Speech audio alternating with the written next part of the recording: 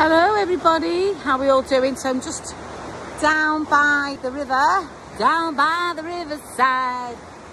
There it is. Gorgeous river in Llangollen. Here for a couple of days, so I'll just show you the gorgeous view and the walk round. River Dee. That's the view, that's the chain bridge.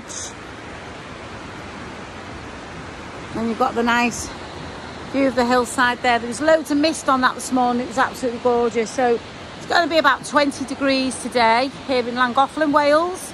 Staying at the Chainbridge Hotel, but I'm going into Llangollen now and staying somewhere else tonight. But just thought I'd show you a little bit of the scenery because it is pretty. There we go.